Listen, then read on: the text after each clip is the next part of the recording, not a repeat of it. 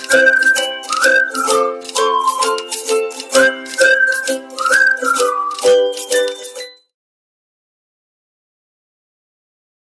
everyone.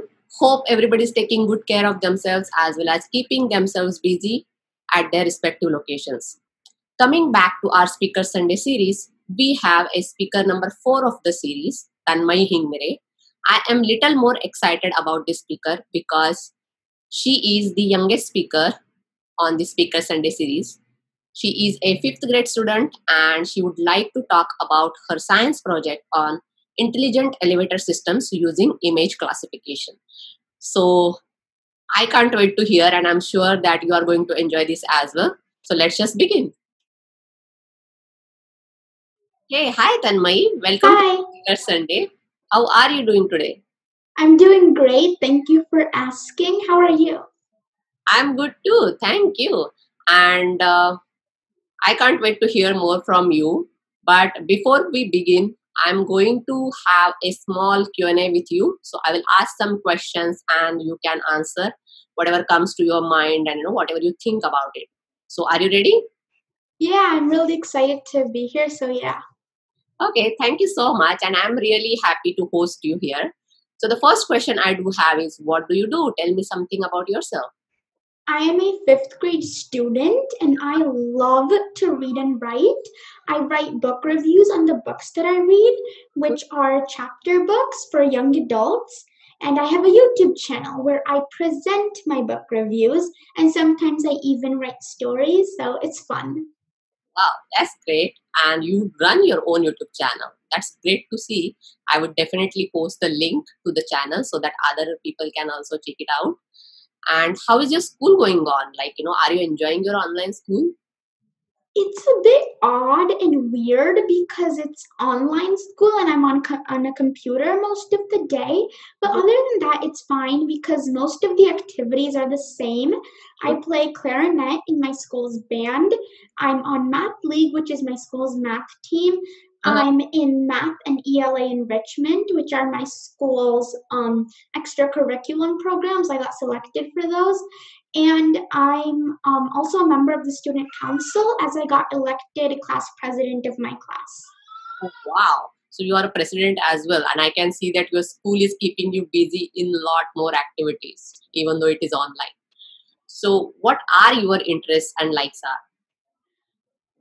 I really like to read and write. As I mentioned before, I like to learn new things, especially in the kitchen, because I like to cook now and then.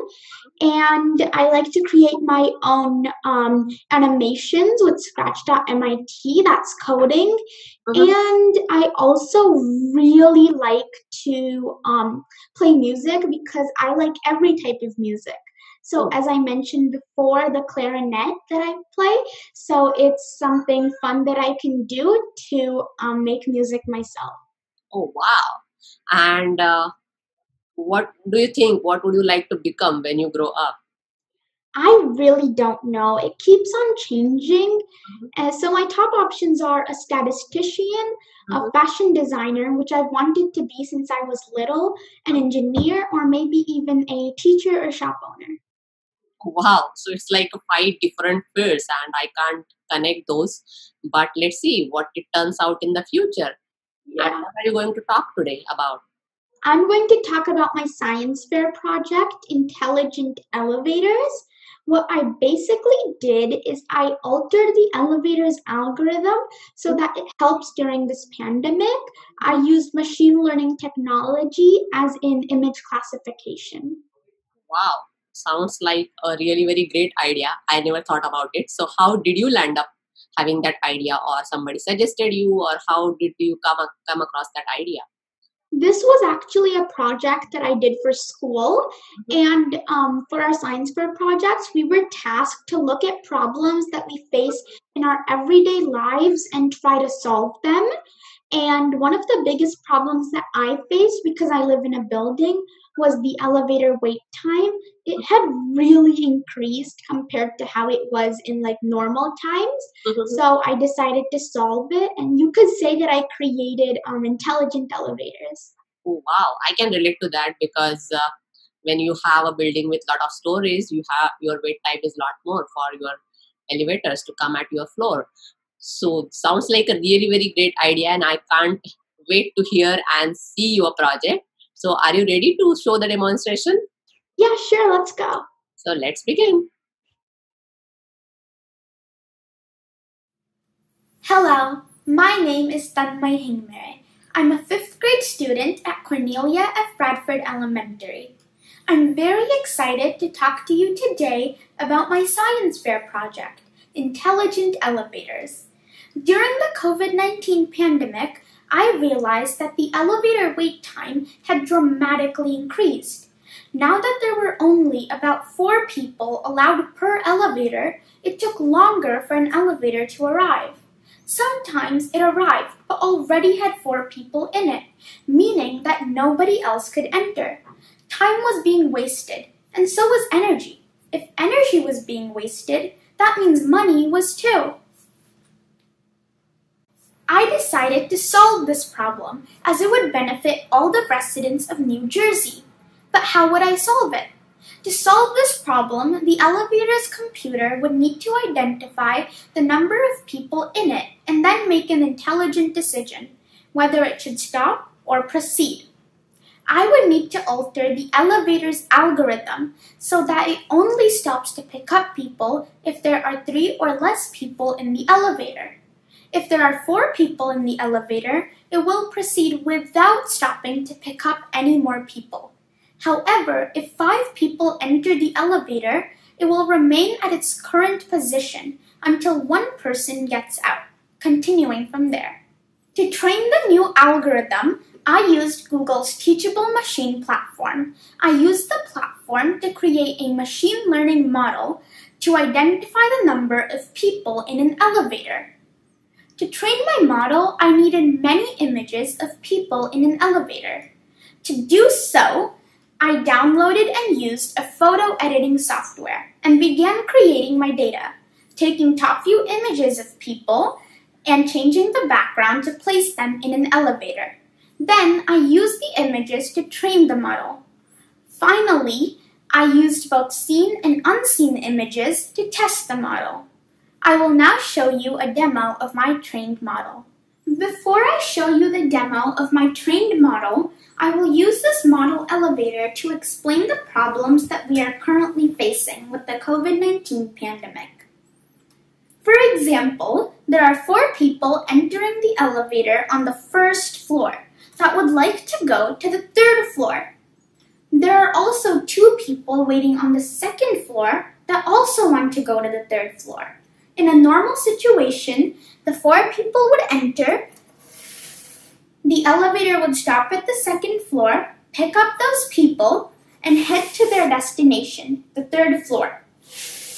In this pandemic, however, when the four people enter the elevator and the elevator stops at the second floor, no one will be able to get in because four people is about the maximum number of people allowed in an elevator.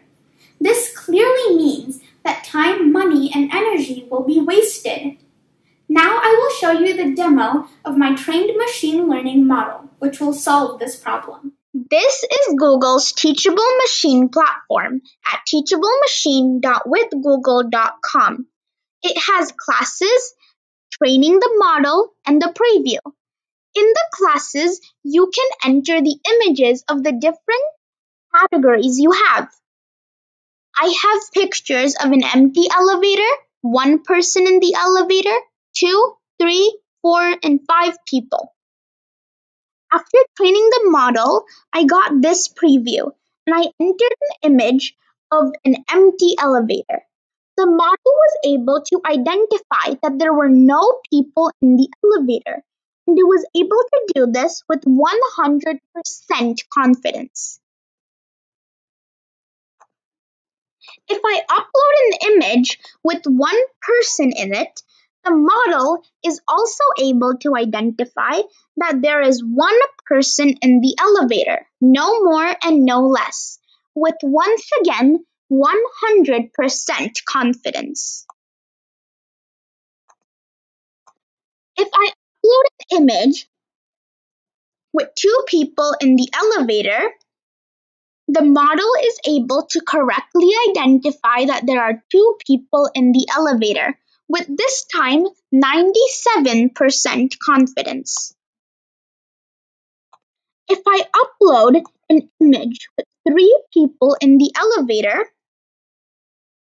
the model is able to identify that there are three people in the elevator with 99% confidence.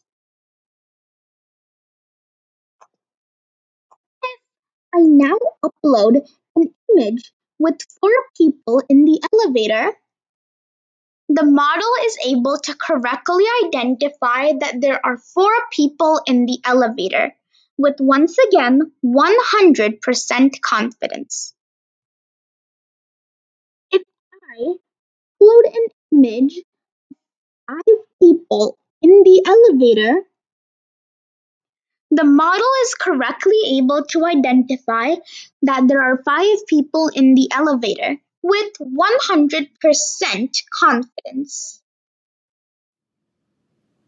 For this demo, I only used front camera view images of adult people.